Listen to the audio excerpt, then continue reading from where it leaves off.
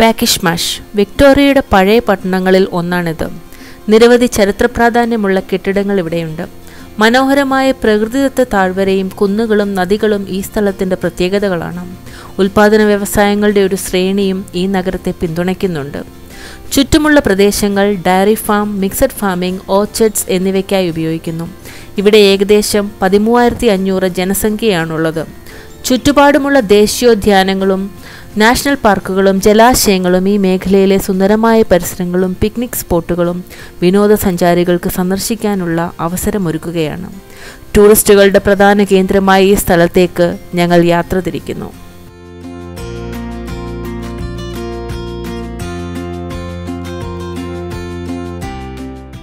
മെൽബന്റെ south east സബേബായ ലിൻഹേസ്റ്റിൽ നിന്നും ഒരു ദിവസത്തെ യാത്രയ്ക്കുള്ള ആവശ്യ സാധനങ്ങളുമായി ഞങ്ങൾ അഞ്ചു പേരും രാവിലെ ആറ് മുപ്പതിന് യാത്ര തിരിച്ചു. ഏകദേശം എട്ട് മണിയോടുകൂടി ഞങ്ങൾ ബാക്കിഷ്മാഷിൽ എത്തിച്ചേർന്നു. കിഴക്കു നിന്ന് വരുന്നവർക്ക് ബാക്കിഷ്മാഷിലേക്കുള്ള മെയിൻ എൻട്രി എന്ന് പറയുന്നത് ദ അവന്യൂ ഓഫ് ഓണർ ആണ്. അവിടെ എത്തി ഞങ്ങൾ ആദ്യം പോയത് അവിടെ തന്നെ റോഡ് സൈഡിലുള്ള Jeff Jones plants and produce എന്ന സ്റ്റോളിലേക്കാണ്. ആ സ്റ്റോളിന് ജോൺസീസ് എന്നും വിളിക്കുന്നു. ഇവിടെ പഴയ ഫ്ലേവറോട് കൂടിയ പഴങ്ങൾ കൃഷി ചെയ്തിരുന്നു. അവിടുത്തെ ജീവനക്കാരോട് ഞങ്ങൾ പോയി അന്വേഷിച്ചപ്പോൾ അവിടെ ഈ വർഷം കൃഷി ചെയ്യുന്നില്ല എന്നറിയാൻ കഴിഞ്ഞു. അവിടുത്തെ മനോഹരമായ സ്ഥലത്ത് നിന്ന് കുറച്ച് നല്ല ഫോട്ടോസ് എടുത്ത ശേഷം രാവിലത്തെ ബ്രേക്ക്ഫാസ്റ്റ് കഴിക്കാനായി നല്ലൊരു സ്ഥലത്ത് വഴിയരികിലായി ഞങ്ങളുടെ കാർ പാർക്ക് ചെയ്തു. ആഹാരം കഴിഞ്ഞ് കുറച്ചു നേരം കൂടി അവിടെ ചെലവഴിച്ച് ഞങ്ങൾ വീണ്ടും യാത്രയായി പുതിയ കാഴ്ചകൾ കാണാൻ. അവിടെ നിന്ന് ഏകദേശം മൂന്ന് മൂന്നര കിലോമീറ്റർ ദൂരെയുള്ള നേച്ചർ ഡ്രൈ ഫ്രൂട്ട്സ് എന്ന പേരായ ഫ്രൂട്ട് പിക്കിംഗ് ഫാമിലേക്കാണ് ഞങ്ങൾ പോയത്. അവിടെ നമ്മൾക്ക് വേണ്ടുന്നതായ ഫ്രൂട്ട്സ് പിക്ക് ചെയ്യാനായി സാധിക്കും. അവിടെ എത്തി അവിടുത്തെ റിസപ്ഷനിൽ നിൽക്കുന്ന ജോലിക്കാരുടെ അടുത്ത് നിന്ന് ഫാമിനുള്ളിലേക്ക് പ്രവേശിക്കുവാനുള്ള ടിക്കറ്റ് എടുത്ത് ഫ്രൂട്ട്സ് പിക്ക് ചെയ്യാനായി അവിടുത്തെ ജോലിക്കാർ തന്ന ബക്കറ്റും ബാസ്ക്കറ്റുമായി ഞങ്ങൾ ഫ്രൂട്ട് പിക്ക് ചെയ്യാനും കാഴ്ചകൾ കാണാനുമായി ഫാമിനുള്ളിലേക്ക് പോയി. ഫാമിനുള്ളിലേക്ക് പ്രവേശിക്കുമ്പോൾ ഞങ്ങൾ ആദ്യം കണ്ടത് നീണ്ടു നിവർന്ന് കണ്ണെത്താത്ത ദൂരത്തോളം നിൽക്കുന്ന സ്ട്രോബെറി ചെടികളാണ്. അതിൽ നിറയെ ചുവന്നു തൊടുത്ത സ്ട്രോബെറികൾ ഞങ്ങൾ കണ്ടു. അതിൽ ഒരു സ്ട്രോബെറി പറിച്ച് അവിടുത്തെ ജോലിക്കാർ കാണാതെ അതിന് മധുരമുണ്ടോ എന്നറിയുവാൻ ടേസ്റ്റ് ചെയ്ത് നോക്കി. വളരെ സാധുള്ള ആ സ്ട്രോബെറികൾ തിരികെ പോകുമ്പോൾ പറിച്ചുകൊണ്ട് പോകാമെന്ന് കരുതി ഞങ്ങൾ സ്ട്രോബെറി ഫാമിൽ നിന്ന് ചെറിമരങ്ങൾ നിൽക്കുന്നിടത്തേക്ക് പോയി.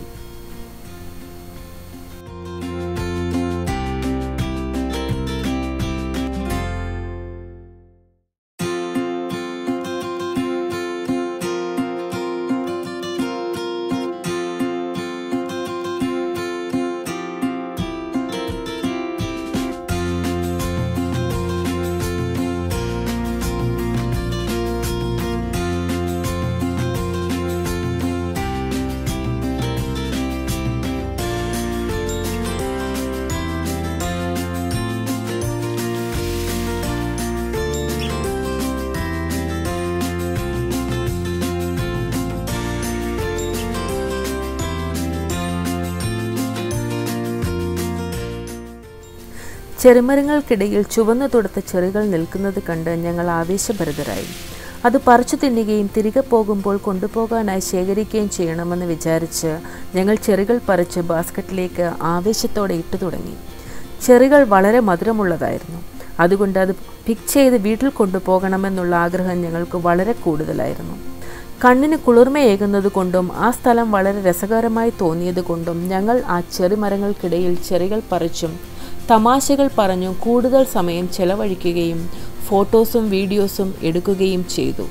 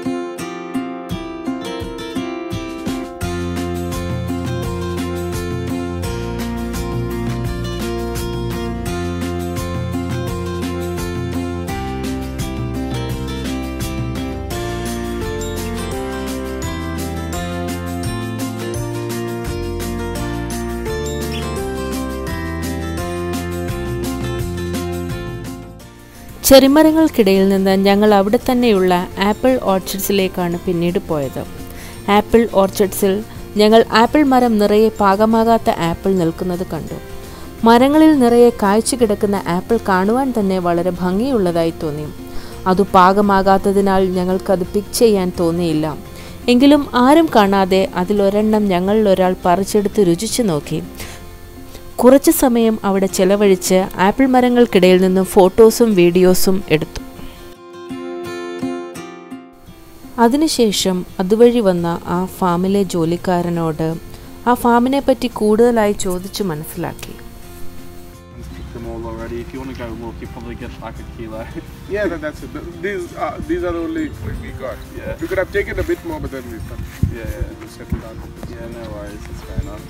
Thank you. No worries, guys. Have a nice day. You too. Bye.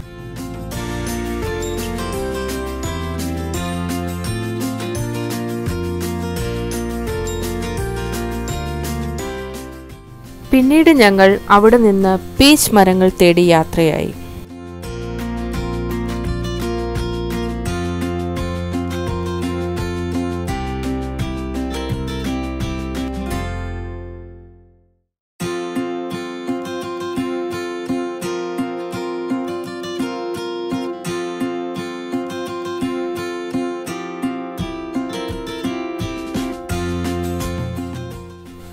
Peach മരങ്ങൾക്കിടയിൽ ഞങ്ങൾ പീച്ച് നിൽക്കുന്നത് കണ്ടു. കൂടാതെ മരങ്ങൾക്ക് ചുവട്ടിൽ നല്ല പഴുത്ത പീച്ചുകൾ വീണ് കിടക്കുന്നതും കണ്ടു.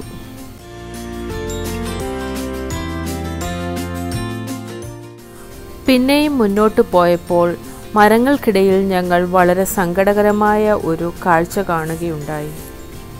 മരങ്ങൾക്ക് ചുവട്ടിൽ കിളികൾ ചത്തും അവശരുമായി കിടക്കുന്നു. ഞങ്ങൾ കാരണം തേടിയപ്പോൾ അവിടുത്തെ ജീവനക്കാർക്കറിയില്ല എന്ന് പറഞ്ഞു. അത്രയും നിമിഷം തോന്നിയ സന്തോഷം ഒരു നിമിഷം കൊണ്ടില്ലാതെയായതുപോലെ എങ്കിലും കുറച്ച് സമയം കഴിഞ്ഞ് ഞങ്ങൾ വീണ്ടും മരങ്ങൾക്കിടയിലൂടെയുള്ള യാത്ര ആരംഭിച്ചു.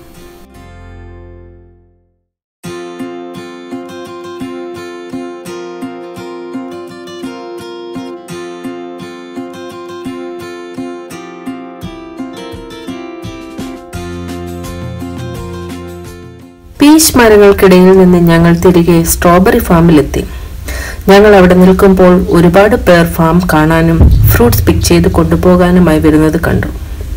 സ്ട്രോബെറി ചെടികൾക്കിടയിൽ അവിടുത്തെ ജോലിക്കാരായ വിയറ്റ്നാമികൾ തലപ്പാവ് വെച്ചിരുന്ന് ജോലി ചെയ്യുന്നത് നമ്മൾക്ക് കാണാൻ സാധിക്കും. ജനുവരി മാസത്തിലെ ഒരു ചൂടുള്ള ദിവസമാണ് ഞങ്ങൾ അവിടെ പോയത് എങ്കിലും കാറ്റുണ്ടായിരുന്നതിനാൽ വലിയ ക്ഷീണം ഞങ്ങൾക്ക് അനുഭവപ്പെട്ടില്ല. അതുകൊണ്ട് തന്നെ വളരെ ഉത്സാഹത്തോടെ ഞങ്ങൾ സ്ട്രോബെറി വീട്ടിൽ കൊണ്ടുപോകാനായി പറിച്ചു തുടങ്ങി. അവിടെ ഞങ്ങൾ എത്ര സമയം ചെലവഴിച്ചു എന്നറിയില്ല. ജീവിതത്തിൽ ഒരുപാട് ഇഷ്ടത്തോടെ ചെലവഴിച്ച ചില നിമിഷങ്ങൾ.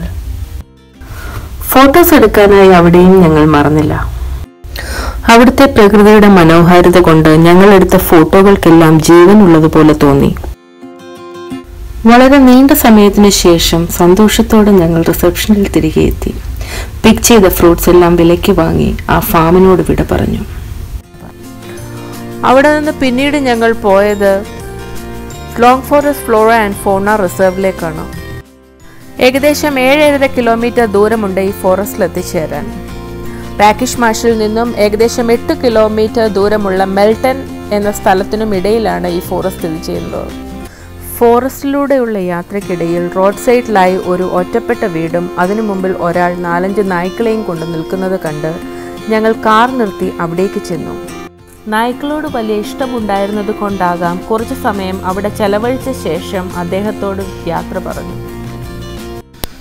ഈ ഫോറസ്റ്റിൽ മൃഗങ്ങളെ കാണാൻ മാത്രമല്ല ബേർഡ്സ് വാച്ചിങ്ങിനും വാക്കിങ്ങിനും ഒക്കെയായിട്ട് വിനോദസഞ്ചാരികൾക്ക് അവസരമൊരുക്കി കൊടുക്കുന്നു. അവിടെ നിന്ന് വടക്കോട്ട് ഏഴ് കിലോമീറ്റർ മാറി സ്ഥിതി ചെയ്യുന്ന മെരിമോ റിസർവേറിലേക്കാണ് ഞങ്ങൾ അടുത്തതായി പോയത്. അങ്ങോട്ടേക്കുള്ള യാത്രക്കിടയിൽ ദൂരെയായി ഒരു ലേക്ക് കാണുവാനായി നമുക്ക് സാധിക്കുന്നുണ്ട്.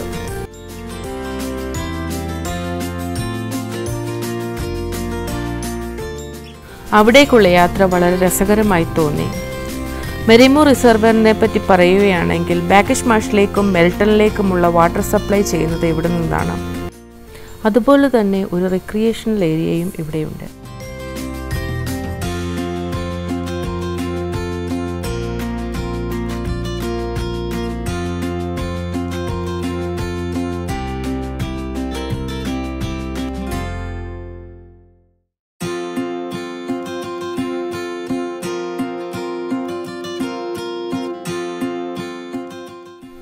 കൂടാതെ പിക്നിക്കിനായും ബാർബിക്യൂ ചെയ്യുവാനും ടോയ്ലറ്റ് ഫെസിലിറ്റിയും എല്ലാം ഈ മെറിമോ റിസർവറിന്റെ ഒരു പ്രത്യേകതകളാണ്. കൂടാതെ കുട്ടികൾക്ക് കളിക്കുവാനായി പ്ലേ ഗ്രൗണ്ട് ഫെസിലിറ്റിയും ഇവിടെയുണ്ട്.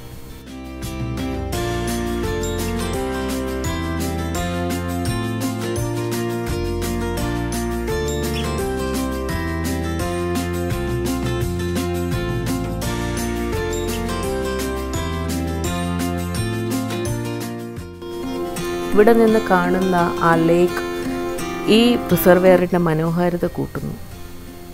കുട്ടികൾക്ക് വളരെ രസമുള്ള സ്ഥലമായിരുന്നതിനാൽ ഞങ്ങൾ കൂടുതൽ സമയം അവിടെ ചെലവഴിച്ച ശേഷം സെയിന്റ് ആൻഡ്സ് വിനിയാർഡിലേക്ക് യാത്ര പുറപ്പെട്ടു.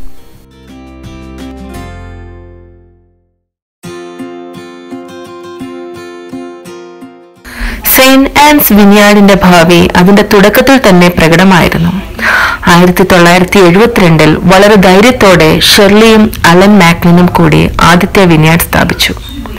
ചെറുപ്പക്കാരായ ഈ ദമ്പതികൾ ഇവിടെ വന്നപ്പോൾ ഈ പ്രദേശത്ത് വൻ നിർമ്മാണമൊന്നും ഉണ്ടായിരുന്നില്ല.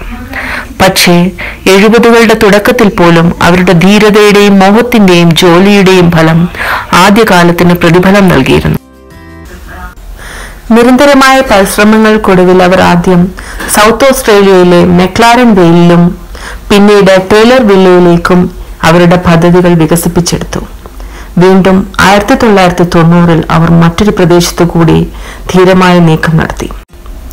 നിലവാരമുള്ള വൈൻ നിർമ്മാതാക്കൾ അക്കാലത്ത് അവിടെയെങ്ങും ഉണ്ടായിരുന്നില്ല. അതുകൊണ്ട് തന്നെ ഷേർലിയും അലനും എക്കുഖ എന്ന സ്ഥലത്ത് ഭൂമി വാങ്ങിച്ചു. വലിയ വിജയത്തോടെ അവർ വിസ്തൃതമായ വീഞ്ഞു നിർമ്മാതാക്കളുമായി സഹകരിച്ച് അവർ ആ പ്രദേശത്തെ പെരീക്കൂട്ട സ്ഥാപിച്ചു. പെരീക്കൂട്ട എന്നാൽ ഓസ്ട്രേലിയൻ നദീതട ഭാഗത്തുള്ള ഒരു വൈൻ മേഖലയാണ്. ഈ സംഭവ വികാസം മാഗ്ലൈൻ കുടുംബത്തിന്റെ വളർച്ചയായിരുന്നു. അവരുടെ കുട്ടികളായ റിച്ചാർഡും ആനും കുടുംബ ബിസിനസ്സിൽ പങ്കാളിയായതോടുകൂടി അവരുടെ വളർച്ച പിന്നെയും വർദ്ധിച്ചു. സെയിന്റ് ആൻഡ്സ് വീനിയാഡിൽ ഇപ്പോൾ ഓരോ വർഷവും നാല് മില്യൺ ലിറ്റർ നല്ല നിലവാരമുള്ള വീഞ്ഞ് നിർമ്മിക്കുന്നു.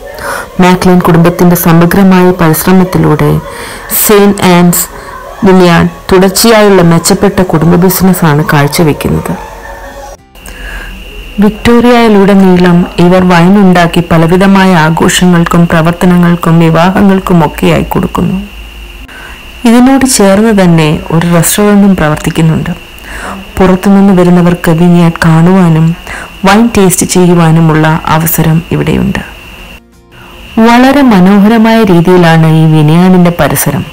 നല്ല ഒരു പൂന്തോട്ടം അവിടെയുണ്ട്. ഞങ്ങൾ ചെന്നപ്പോൾ അവർ ഞങ്ങൾക്ക് വിനിയാൻ കാണുവാനുള്ള അനുമതി തരികയും പല ഫ്ലേവറിലുള്ള വീഞ്ഞ് ഞങ്ങൾക്ക് ടേസ്റ്റ് ചെയ്യാനുമായി തന്നു. പതിനെട്ട് വയസ്സിൽ താഴെയുള്ള കുട്ടികൾക്ക് അവർ നിർബന്ധമായും വീഞ്ഞ് കൊടുക്കാറില്ല. മക്ലേൻ കുടുംബത്തിന്റെ ആത്മാർത്ഥമായ പരിശ്രമം കാണാതെ പോയാൽ ജീവിതത്തിൽ വളരെ നഷ്ടം തോന്നിയേക്കാം.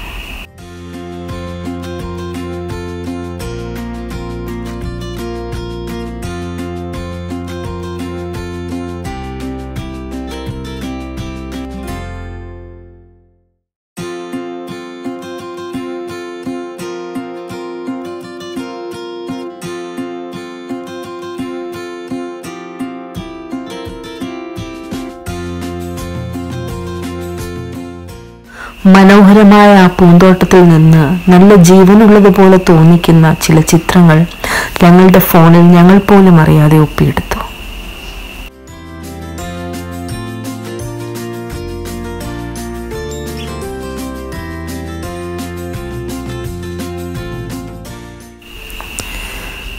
ഏകദേശം മൂന്ന് മണിയായതിനാൽ ഞങ്ങൾ അവിടെ നിന്ന് വീട്ടിൽ നിന്നും കൊണ്ടുവന്ന ലഞ്ച് കഴിക്കാനായി ഒരു നല്ല പരിസരം നോക്കി യാത്രയായി.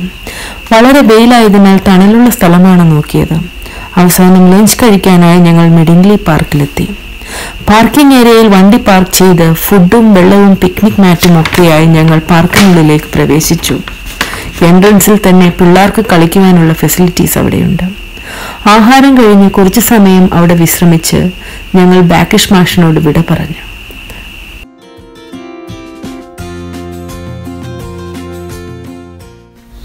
ബാക്കിഷ് മാഷിൽ നിന്നും വീട്ടിലേക്കുള്ള മടക്കയാത്രയിൽ ഞങ്ങൾ മറ്റൊരു സ്ഥലമായ വീലേഴ്സ് ഹില്ലിൽ ഒരു നല്ല പബ്ലിക് പാർക്ക് ഉണ്ടെന്നറിഞ്ഞു ചൂട് സമയത്ത് മെൽബണിലെ കാലാവസ്ഥ അനുസരിച്ച് ഏകദേശം എട്ടര മണിയാവും രാത്രിയാവാൻ.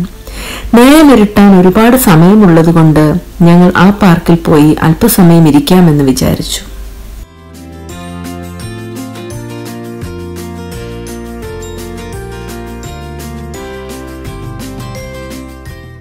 വളരെ നീണ്ട നേരത്തെ യാത്രയ്ക്കൊടുവിൽ ഞങ്ങൾ ജൽസ് പാർക്കിൽ എത്തിച്ചേർന്നു ആയിരത്തി തൊള്ളായിരത്തി എഴുപത്തി ആറ് ഏപ്രിൽ മാസം മുപ്പതാം തീയതിയാണ് ഈ പാർക്ക് തുറന്നു പ്രവർത്തിച്ചത്. വർഷത്തിൽ ഏകദേശം ഒമ്പത് ലക്ഷത്തിൽ കൂടുതൽ വിസിറ്റേഴ്സ് ഇവിടെ വരാറുണ്ട്. നൂറ്റി ഇരുപത്തെട്ട് ഹെക്ടേഴ്സിൽ വ്യാപിച്ചു കിടക്കുന്ന ഈ പാർക്കിൽ ബൈക്ക് പോകാനായി തന്നെ ഒമ്പത് കിലോമീറ്റർ വഴിയും ഒരു ഫിറ്റ്നസ് സ്റ്റേഷൻ ഏരിയയുമുണ്ട് കൂടാതെ വരുന്നവർക്ക് എൻജോയ് ചെയ്യാനായി പിക്നിക് ഏരിയാസും ബാർബിക്യൂ ചെയ്യുവാനും കുട്ടികൾക്ക് കളിക്കുവാനുള്ള ഫെസിലിറ്റിയും ഇവിടെയുണ്ട്. ഞങ്ങൾ ആ പാർക്കിനുള്ളിലേക്ക് പ്രവേശിക്കുമ്പോൾ ഒരുപാട് പേർ അവിടെ ഉണ്ടായിരുന്നു. ആ പാർക്കിൽ നല്ല തണലുണ്ടായിരുന്നത് കൊണ്ട് ഒരുപാട് സമയം ഞങ്ങൾ അവിടെ ചെലവഴിച്ചു. മരങ്ങൾക്കിടയിലൂടെ മന്നമാരുതൻ ഞങ്ങളെ തഴുകി തലോടിക്കൊണ്ടിരുന്നു. മന്നമാരുതിന്റെ തലോടലും വൃക്ഷങ്ങളുടെ തണലും കൊണ്ട് ഒട്ടും ചൂട് ഞങ്ങൾക്ക് അനുഭവപ്പെട്ടില്ല.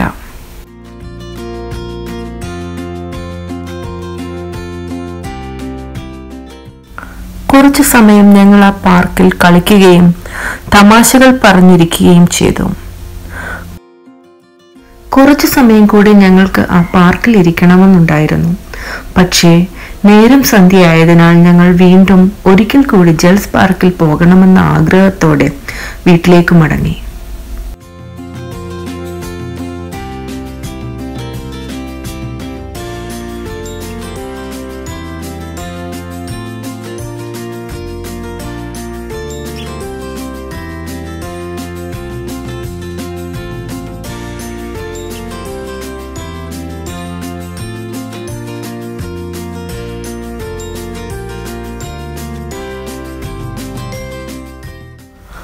ദിവസത്തെ യാത്രയെ ഉണ്ടായിരുന്നുള്ളൂ എങ്കിലും ഞങ്ങൾ ഒരുപാട് ദിവസം ചെലവിട്ട പോലെ തോന്നി.